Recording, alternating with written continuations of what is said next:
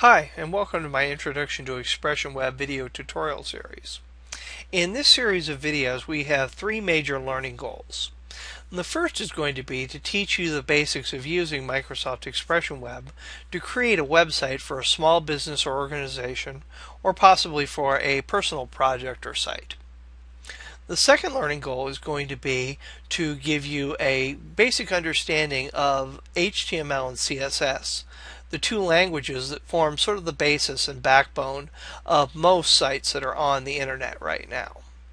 And the third goal is to give you an overview of the web, the process of actually creating a website so that you're able to take the skills that you learn in this video and apply them to different projects that you're actually going to be working on.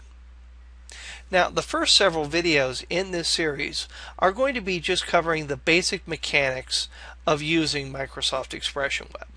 We'll talk about how to create sites, how to manage those sites, how to add pages to your site, and how to add content onto those pages.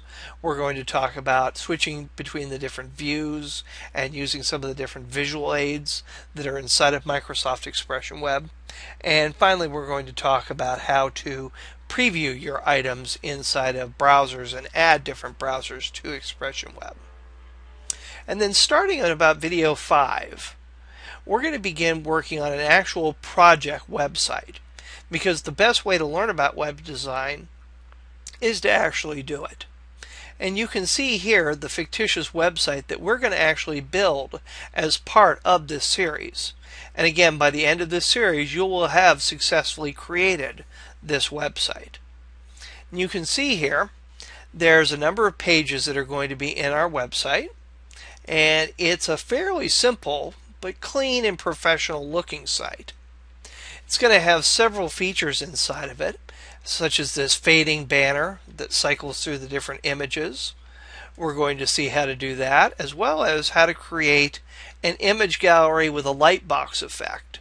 You can see here a small image gallery just has three images inside of it.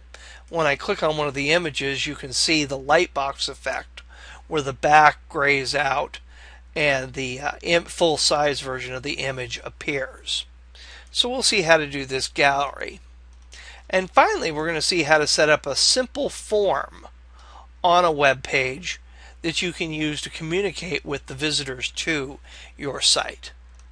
And again, by the time you get finished watching these videos, you should have not only this website created, but a good understanding of all the different um, elements that it took to create this website. Now, after you're finished working on this, um, working through the videos in this series, you can go ahead and check out the channel, and there will be several other Expression Web project series that are going to be posted in the coming months that will show you how to use the skills you've learned in this series and apply them in different ways to different sites, in addition to just giving you more practice in creating different websites. And again, practice here is the key. Another key to getting through this series is going to be patience. You're going to need to go through each step in the videos and possibly watch several of the videos several times in order to um, understand and retain all of the information.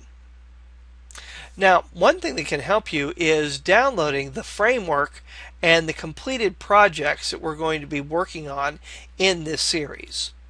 And if you go to my website, and you can see a link in the description for this video to my website, you can download the framework as well as this completed website and all the resources that went to building this website um, there.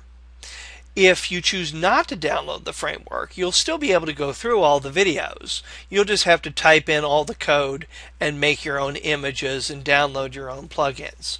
So the framework is more of a time saver than something you absolutely need, but it can be really valuable in working through this um, series of videos. If for no other reason, if you get stuck at some point and you can't see where a problem is in your version of the site, you if you have the completed version of the website, you can compare the two side by side and see where the differences are in your code from the completed working version of the site. So that can be very useful. But again, the framework and the completed project is entirely optional. And I'll show you all the code as we go through this, and we'll tell you the dimensions of the images that you need to um, create or um, um, get in order to um, finish all these, as well as um, the names of some of the different plugins that you can go and uh, download for this um, for this series. So this is where we're going to be headed in this series of videos. And again, the first several videos are just going to be an overview of using Microsoft Expression Web. In the next video, we're going to see how to create a brand new site inside of Expression Web, how to manage sites, how to create pages in those sites, and how to navigate through the main Expression Web series. After that, we're going to learn how to go ahead and add content to the pages that we create. Text, images, we'll see how to create hyperlinks between pages and other websites, as well as set up small tables of information.